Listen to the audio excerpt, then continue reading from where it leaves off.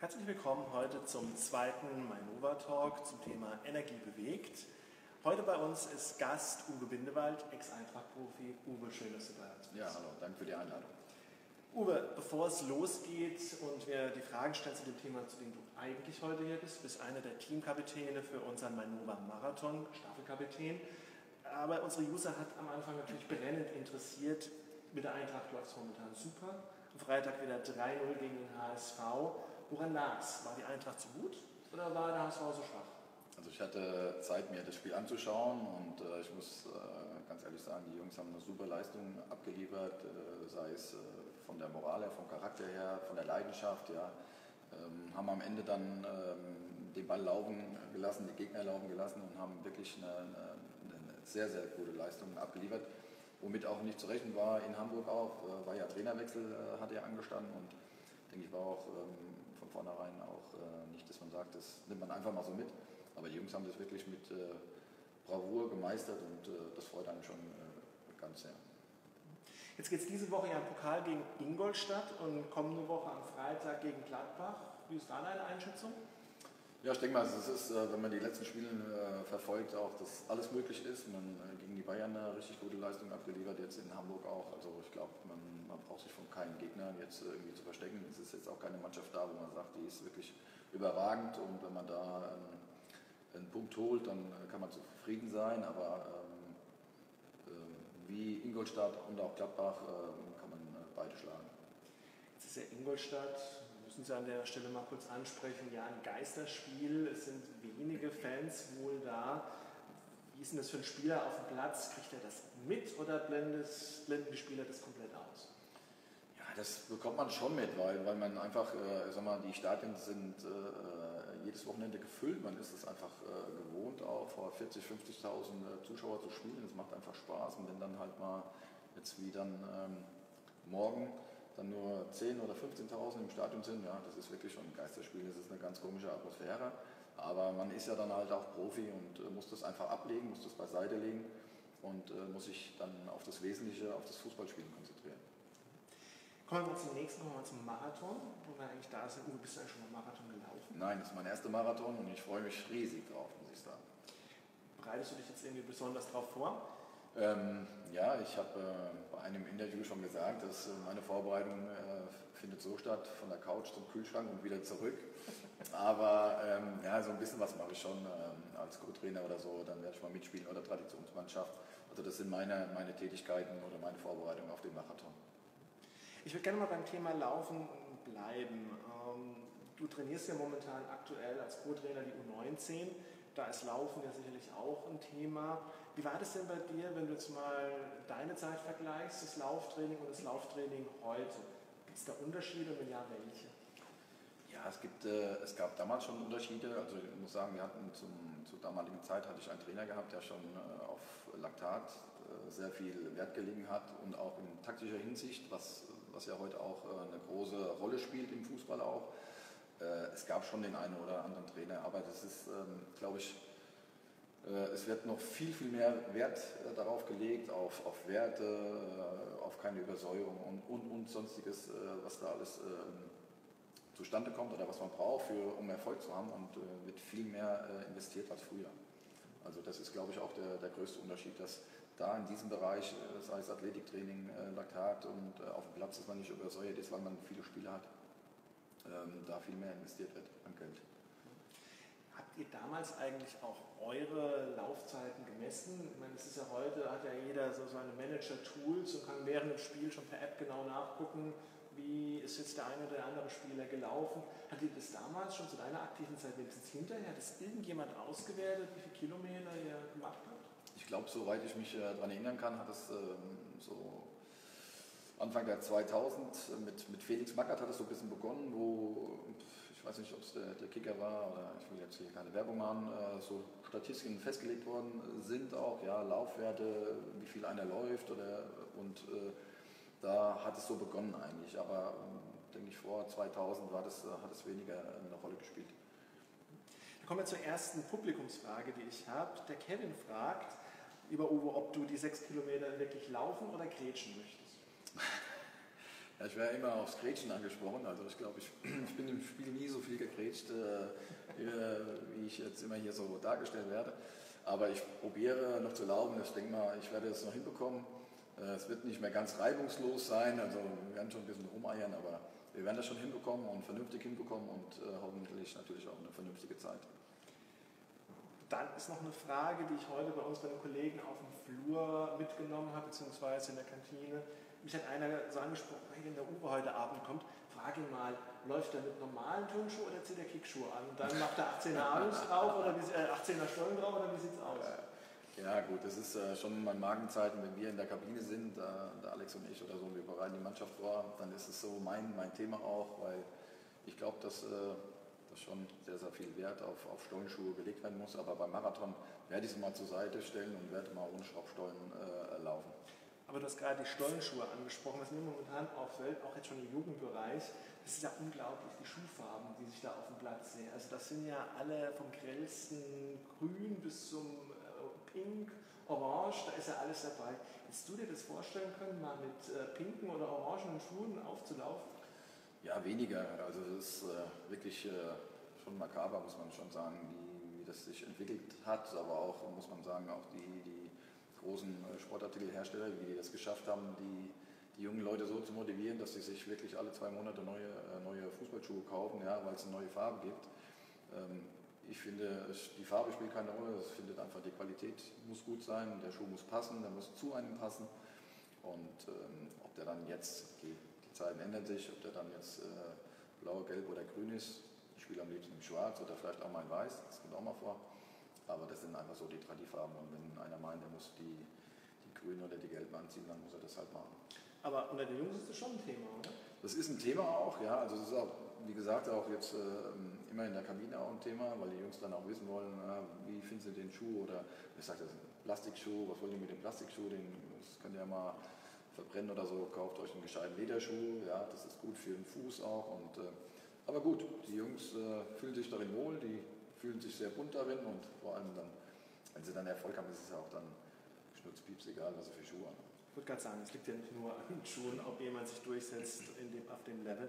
Das ist auch die nächste Frage, die einer unserer Facebook-Nutzer gestellt hat. Lieber Ilias, du wolltest wissen, deine Meinung, lieber Uwe, zum Ayman Barkok. Das ist, glaube ich, einer eurer Rechtsverteidiger, die ihr habt. Äh, schafft ihr es? Ist er auf dem Weg, zum großen Profi zu werden? Wie weit ist er noch weg vom Durchbruch? Wie weit ist er noch weg? Also der, der Emin, muss man ganz ehrlich sagen, ich hatte ihn äh, in der U17 schon gehabt, als damals äh, als Cheftrainer war. Ähm, er hat eine super Entwicklung genommen, die letzten, die letzten Jahre auch. Ähm, war kein einfacher Spieler, aber ein Spieler, der lernen wollte, der dazugelernt hat und der sich äh, wirklich von, von Monat zu Monat auch oder von Jahr zu Jahr auch äh, verbessert hat. Und ich kann mir gut, sehr gut vorstellen, dass äh, wenn er jetzt äh, nicht äh, die Zügel schleifen lässt oder dass er den ganz großen Cup machen kann. Ja.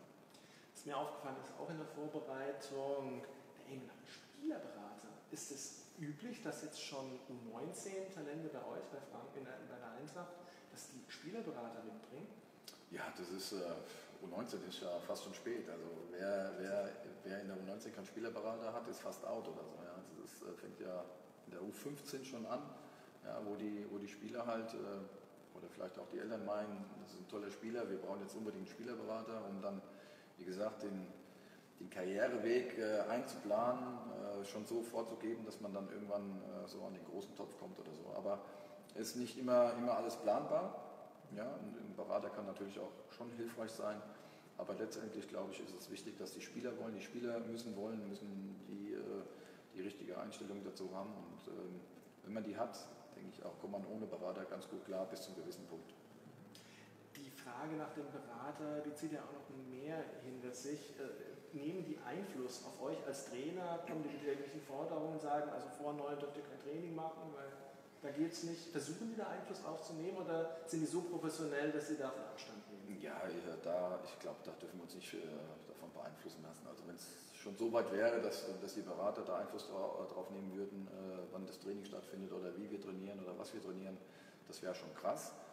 Aber sie nehmen indirekt äh, über die Spieler, ähm, probieren sie da ähm, ja, Druck auszuüben oder vielleicht gewisse Dinge zu fordern halt auch. Ähm, die, wo sie meinen, halt, äh, die für die äh, Spieler halt wichtig sind. Ähm, so indirekt vielleicht schon, ja, gewissen Druck ausüben, aber man muss da als Verein äh, dahinter stehen, muss das, was man macht, auch äh, gutheißen und äh, es ist bestimmt nicht alles richtig, aber man muss äh, mit, hinter dem, was man macht, muss man auf jeden Fall auch hinterstehen.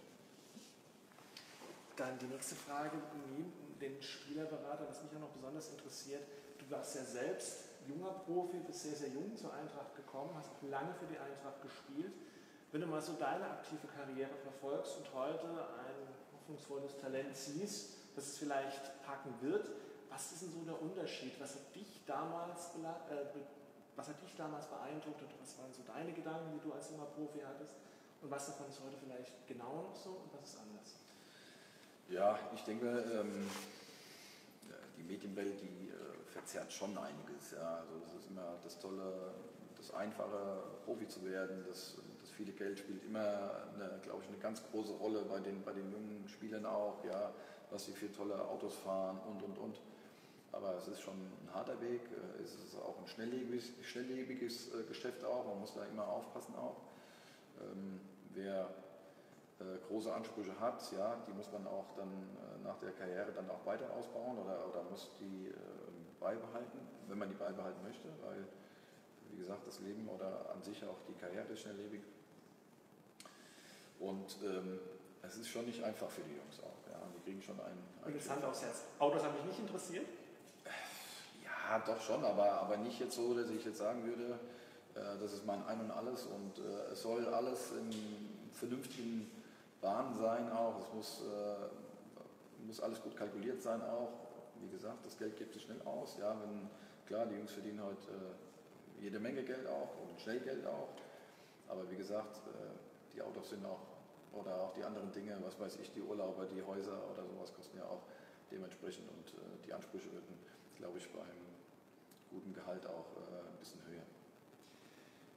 Dann kommt die nächste Frage, auch noch, da können wir das Thema Jugend mal abschließen von unserem Facebook-User Philipp. Philipp, du fragst live bei uns, was erreichst du noch in diesem Jahr mit der U19? Was ist so euer selbstgestecktes Ziel? Gute Frage. In diesem Jahr oder in dieser Saison? Ja, gute Frage jetzt. Also die, Gehen wir mal in dieser Saison. Dieser Saison aus, okay. Äh, man muss sagen, ähm, die Jungs in dieser Saison machen einem wirklich Freude, es macht wirklich Spaß, mit den Jungs zu arbeiten. Sie nehmen viel an, probieren viel umzusetzen. Natürlich fordern die auch ein, es gibt immer wieder ähm, immer äh, kleinere Problemchen oder vielleicht auch mal größere. Man hat auch dann auch, natürlich auch wenn es für die Jungs schön ist, wenn so bei den Profis sind auch, ähm, gibt es auch dann Spieler, die äh, damit vielleicht auch nicht klarkommen. Und, aber wenn wir das alles so umsetzen können, ja, wie, äh, wie die Jungs das jetzt im letzten Spiel gegen 1860 München gezeigt haben, ja, das war wirklich klasse. Ähm, mit, einem, mit, einer tollen Leistung auch, mit einer tollen Einstellung. Und ähm, warum soll dieser Tabellenplatz, den wir jetzt vielleicht haben, Platz 5, am Ende vielleicht auch nicht äh, realisierbar sein? 1860 München, da fällt mir noch was ein. Saison 95, 96. Okay. Wir haben uns vorhin das Video nochmal angeschaut, da gab es glaube ich zwei Traumtore. Eins von JJ Okocha, das muss man fairerweise dazu sagen, der so die halbe Abwehr von 60 hat stehen lassen. Und eins aber auch von dir, ich glaube, Ball an der Mittellinie angenommen, alleine vors Tor und glänzend über den Torwart gehoben. Wie lange erinnerst du dich noch ans, erinnerst dich ans Profi noch an genau die Momente? Das war schon ein schönes Tor, oder? Das war ein schönes Tor gewesen, ja. Ich äh, habe mich auch gefragt, warum ich nicht noch mehr Tore gemacht habe, aber der eine oder andere Trainer hat dann vielleicht gesagt, bleib lieber mal hin. Ja, das sind äh, tolle Momente und und ich glaube auch, umso älter man wird, auch umso bewusster wird man dann eigentlich auch, äh, was man eigentlich erreicht hat oder was man geleistet hat oder was man für tolle Dinge erlebt hat eigentlich als, als äh, Bundesliga-Profi. Und äh, da waren schon viel, viel schöne, schöne Dinge dabei, auch, genauso wie negativ auch, aber das sind auch Lebenserfahrungen, die, die dann auch hängen bleiben. Bleiben wir mal bei den schönen Dingen erstmal. Und ich habe gerade schon JJ Okocha angesprochen und in die gleiche Richtung geht die Frage unseres Users Thorsten. Thorsten fand, wir, fragt, wie hast du denn die Zeit damals mit Anthony Yeboah, JJ Okocha oder mit all den anderen gefunden? Ist da irgendwie tolle Geschichten? Es gibt mit Sicherheit tolle Geschichten, aber die ich heute nicht hier preisgeben werde. Also, aber, aber das war wirklich eine, eine, eine ganz tolle Zeit, ja, mit, mit den Spielern, mit, mit Toni auch, wenn man sich so nach so langer Zeit wieder sieht auch, ja, oder oder auch JJ, der, glaube ich, beim, oder er war beim, beim äh, Barot da Benefitspiel da gewesen. Und wenn man sich nach so langer Zeit wieder sieht oder so, ja, und sich begrüßt und, und das herzhaft oder herzlich ist auch, ja, dann, dann freut man sich darüber und Binde, wie geht's oder so, ja. Das war eine, eine richtig tolle Zeit äh, und das kann man mit äh, keinem Geld der Welt, äh, glaube ich, kaufen auch. Ja. Das bleibt wirklich im Herzen und, und die, mit den Jungs spielen zu dürfen oder ja, einen Erfolg haben zu können. Wir haben leider nicht den ganz großen Cup gelandet, gelandet ja, wäre drin gewesen, aber, aber die Zeit, die war schon, die war schon klasse gewesen. Möchte ich wirklich keine Sekunde von missen. Ich knüpfe mal drei Fragen an, ganz schnell hintereinander. Wer war dein Lieblingsmitspieler? Oh je, da gibt es mehrere. Ähm, von wann? Alex Schur. Alex Schur, ja, das muss das sein. Wer war dein, äh, dein schlimmster Gegenspieler? Mein schlimmster, ich glaube Stefan Schapisa. Und wer, du hast ja unter einigen Trainern gespielt, von ja. welchen Trainern nimmst du auch heute noch so am meisten mit? Ja, Horst Ermantraut war ein sehr, sehr guter Trainer gewesen. Das kann ich mir vorstellen. Ja. Das kann ich mir vorstellen. Das war ja schon eine ganze Latte. Ja. Hast du eigentlich jetzt nochmal das Ziel, das ist eine Frage, die wir auch eben von einem unserer User live reinbekommen haben, hast du eigentlich auch mal das Ziel, jetzt noch Cheftrainer zu werden? Ja gut, wenn ich äh, das Ziel noch ähm, hätte, dann müsste ich jetzt meinen, meinen Fußballlehrer machen, habe ich jetzt nicht so groß in Erwägung gezogen. Aber ähm, man weiß ja nie, aber man kommt dann auch jetzt in ein gewisses Alter, ich bin jetzt auch nicht mehr der Jüngste und ähm, man sieht ja auch dann, ähm, wenn man in die Bundesliga reinschaut, äh, wie jung die Trainer so mittlerweile werden auch. Ja, ähm, ja da gehöre ich ja fast schon richtig zum alten Eisen. Also von daher glaube ich, ist der Zug schon abgefahren. Aber natürlich würde ich gerne was äh, in einem Bereich machen. Aber wenn äh, irgendwie mal was sich ergeben würde, würde ich natürlich nicht Nein sagen. Du bist ja ein enger Weggefährte von Schur, der letzte Woche hier bei uns auf der Couch mit saß.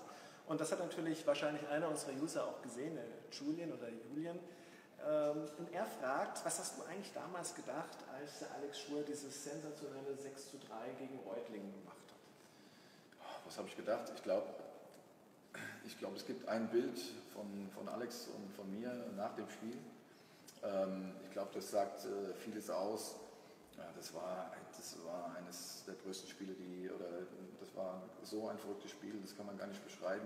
Auf Platz, äh, die Zuschauer sind schon nach Hause gegangen.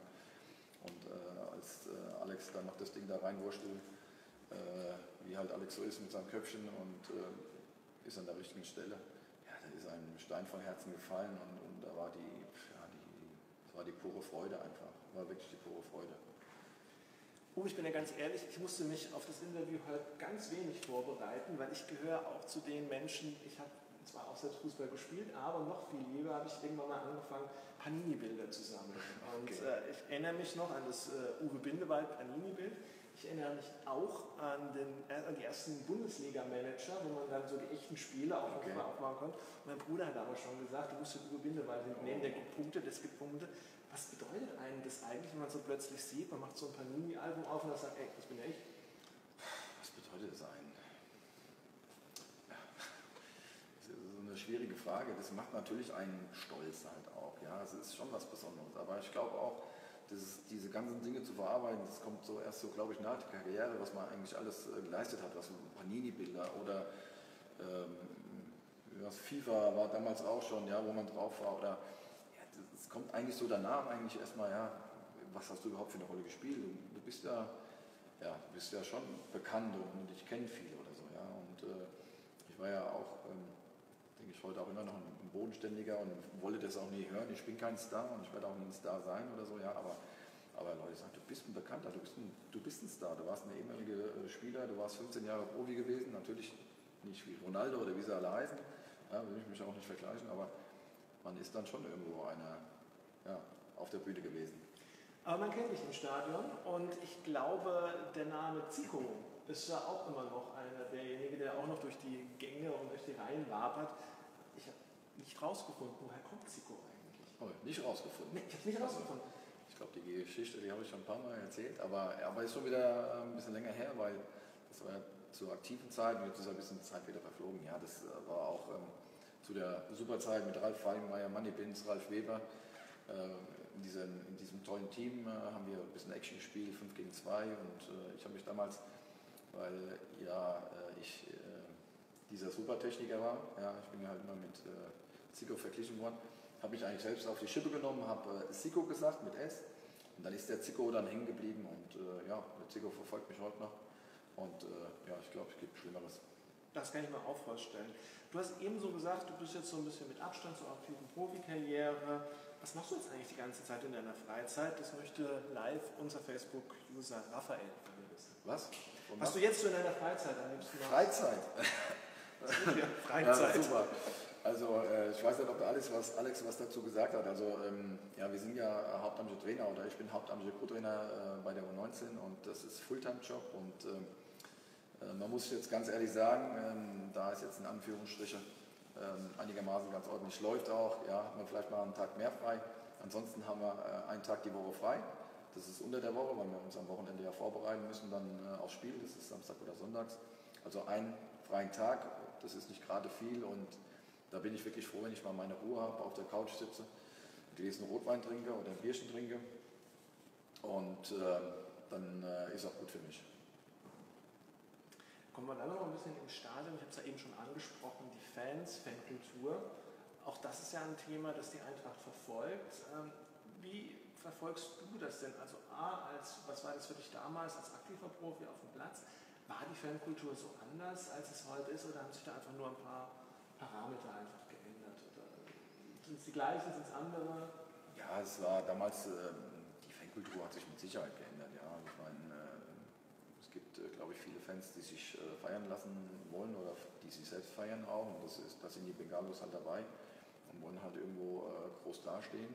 Das sind halt die Chaoten, die halt vieles kaputt machen. Aber ich muss sagen, dass früher auch, ja, dass die Fans uns riesig unterstützt haben. Ich glaube, nach dem Abstieg ist das Ganze noch ein bisschen mehr zusammengewachsen auch. Ähm, viel, viel intensiver geworden, glaube ich, mit, mit Spieler und Fans und, und äh, Unterstützung. Und ich glaube, das ist bis heute geblieben und hat sich noch weiter ausgebaut. Ich glaube, die Spieler können sich nicht äh, darüber beklagen, dass sie nicht angefeuert werden und, und äh, unterstützt werden von den Fans.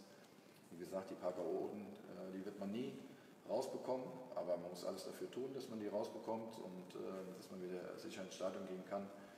Aber äh, ich glaube, die Eintracht hat echt äh, tolle Fans. Also jetzt hier ohne jetzt hier irgendjemand Honig drumherum schmieren, weil drumherum zu schmieren. aber die Fans sollen weiter so unterstützen und die Pagoden, die werden sie schon noch ausfiltern und wird das Ganze ein bisschen ruhiger. Das glaube ich auch.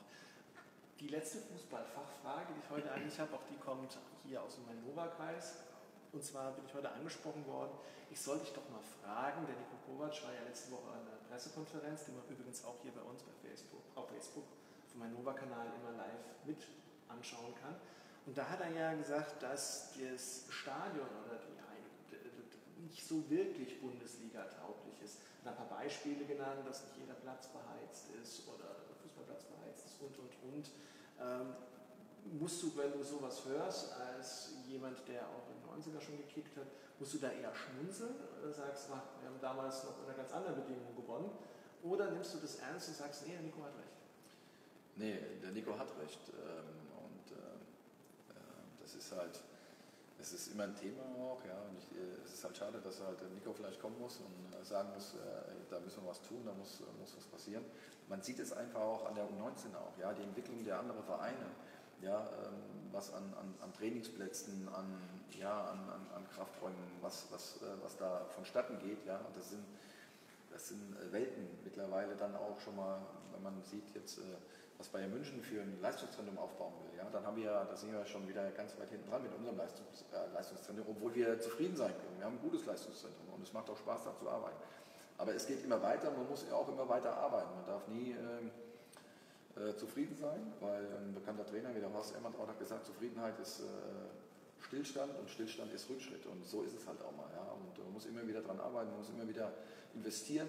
Ja, äh, wie gesagt, ob das dann die Rasenheizung ist in, äh, auf den Trainingsplätzen, ob das äh, bestimmte Athletikanlagen sind, die man braucht, oder Büros oder, oder sonstiges. Man muss immer, immer was dafür tun und muss immer, immer probieren, äh, dass, dass man sich nicht zu weit von der Spitze entfernt. Also ich war ja auch im Stadion, die Alten auf Tribünen sagen es natürlich generell anders, aber ich finde es schön, dass du so Stellung dazu beziehst. Und ich glaube auch, dass das Argument, wenn man sich andere Vereine wie Hoffenheim anguckt, da ist schon auch im Jugendbereich einiges erste Sahne geboten. Ja. Aber wir denken, dass die Eintracht da in Zukunft auch Nein. optimal mithält. Ja, denke ich auch. Dann kommen wir mal wieder zurück zum Laufen. Der Marathon steht am Sonntag an. Du wirst mitlaufen, du wirst dein Team hoffentlich motivieren. Was sind denn so, was sind so deine Erwartungen auf diesen Marathon? Freust du dich auf den Marathon? Und unser Facebook-User Daniel, der Daniel fragt, was ist denn eigentlich das Besondere an diesem Frankfurt-Marathon für dich ganz speziell? Ja, wie gesagt, ich habe ja am, am, Anfang schon gesagt, äh, das ist mein erster Marathon und ähm, wenn man dann im Fernsehen den Marathon anschaut, ja, im, äh, und die Fans oder die Zuschauer jubeln einem zu, ich glaube, das ist schon ein ganz besonderes Gefühl und es ist vielleicht eine andere Atmosphäre im Stadion, vor 50 oder 60.000 Leuten das zu spielen. Also ich glaube, das ist eine ganz andere Stimmung auch und, und ich kann mir auch gut vorstellen, dass, äh, dass die Leute dann äh, an, der, an der Straße dann äh, die Jungs da anpeitschen und, und das einfach am Sonntag nochmal zu erleben und mit Mainova freut mich besonders, also ich freue mich richtig drauf. Am Anfang denkt man so, ah, okay, aber ähm, ich glaube, umso näher das Ding rückt, umso, umso, äh, ja, umso freudiger wird die ganze Geschichte auch und äh, ich bin mal gespannt auf, auf die Atmosphäre und äh, ich kann dann, äh, dann mal danach sagen, wie es war. Wir würden uns freuen, wenn du vielleicht nächstes Jahr wieder bei uns wärst als Teamkapitän. Glaubst du, dass die Leute dich erkennen werden, die da so am Rand stehen? Also jetzt wissen sie es ja, dass du mitläufst, ja? Ja, also ich ähm, habe ja, als wir uns vorhin unterhalten haben, auch schon gesagt, auch, dass ich darauf angesprochen worden bin, dass ich ja beim Marathon mitlaufe und so, ja. Ich denke mal, der eine oder andere wird mich schon noch erkennen auch. Und ähm, werde ich auch mal zuwinken, den einen oder anderen werde ich auch kennen, also mit Sicherheit. Also, ähm, und wenn nicht, ist auch nicht schlimm. Ich freue mich. So, wir sind jetzt kurz vorm Schluss unseres Interviews.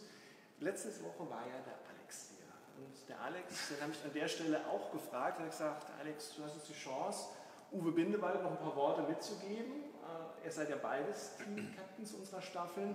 Und der Alex hat schon einen Pfund rausgehauen, das kann man mal so sagen. Also da war schon eine ordentliche Kampfansage und hat also gesagt, dass er wird mit seinem Team dein Team in Grund und Boden rennen. Das war so der Tenor. Und jetzt möchte ich dir natürlich die Möglichkeit geben, Uwe, dem Alex die entsprechende Entgegnung zu geben. Ja, das ist äh, ganz nett auch. Ich habe mich darauf gefreut. Der Alex hat mich auch schon darauf hingewiesen, dass er einen rausgehauen hat. Ähm, der Alex kann natürlich auch äh, in Grund und Boden laufen, das kann er machen, wie er will, aber er, unser Team kann er nur von hinten anschauen. Also dann kann er mal gucken, was ich für Schuhe anhabe. Also Alex, zieh dich warm an. Hunde, die laut bellen, beißen nicht. Also, lern mal was vom alten Mann, Junge. Damit sind wir am Ende. Uwe, ich freue mich, dass du bei uns warst. Das war unser zweiter Mainova Fan Talk zum Thema Energie bewegt im Zugriff auf unseren zukünftigen Marathon am Sonntag. Wir sehen uns am Sonntag. Hat Spaß gemacht. Vielen Dank. Danke.